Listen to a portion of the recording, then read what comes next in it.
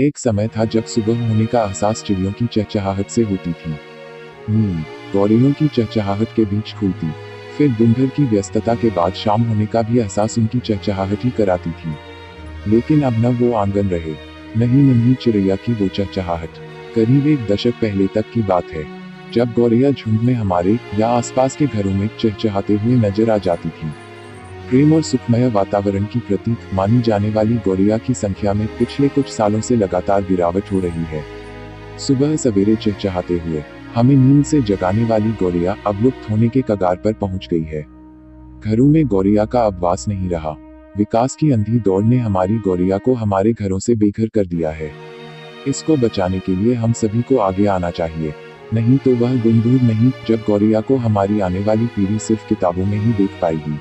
Hello friend स्वागत है आपका हमारे यूट्यूब चैनल पर। आज हम आपको गोरखपुर के रहने वाले एक ऐसे शख्स की कहानी सुनाने जा रहे हैं जिन्होंने अपने घर में लगभग 800 से अधिक गौरैया का ठिकाना बना रखा है और लोग इन्हें स्पेरोमैन के नाम से जानते हैं। वीडियो में आगे बढ़ने से पहले, अगर आपने अभी तक हमारे चैनल को सब्सक्राइब नहीं किया है तो प्लीज़ सब्सक्राइब ज़रूर कर ले। हम आपके लिए प्रकृति से संबंधित जानकारी लाते रहते हैं। गोरखपुर, यूपी, यहाँ बेलघाट इलाके के रहने वाले सुजीत कुमार। 800 से अधिक गौरैया का ठिकाना अपने घर में बना चुके हैं। गौरैया बचाने का ये काम 14 साल से कर रहे हैं।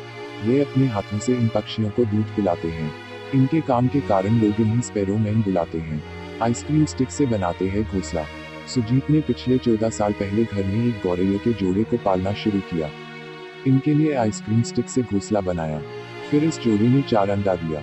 धीरे धीरे इनके आँगन में गौरैया की संख्या बढ़ने लगी। आज इनकी संख्या बढ़कर 800 से ऊपर हो गई है। सुजीत ने बताया, पहले घर वाले इनकी चहचहाहट सुनकर परेशान होते थे, लेकिन धीरे धीरे ये ज़िंदगी का एक हिस्सा बन गए।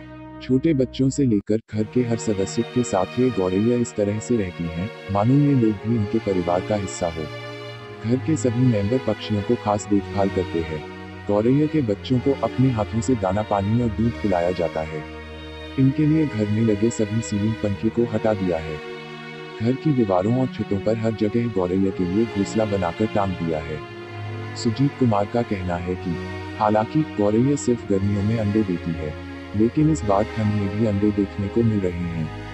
सुजीत ने बताया, इस काम में पत्नी गुंजा और भाई दोनों सहयोग करते हैं। इन नन्ही चिड़िया के लुप्त होने के पीछे मोबाइल रेडिएशन और खेतों में प्रयोग होने वाला कीटनाशक दवा है। पत्नी का कहना है कि शुरू शुरू में अच्छा नहीं लगा। फिर इनका लगाव देखकर सोचा, लोग कुत्ता पालते हैं तो चिड़िया क्यों नहीं पाल सकते हैं? अब ये पक्षी हमारे बच्चे की तरह रहते हैं। वहीं इनकी पड़ोसी विनय का कहना है कि सुजीत का ये काम काबिल तारीफ़ है।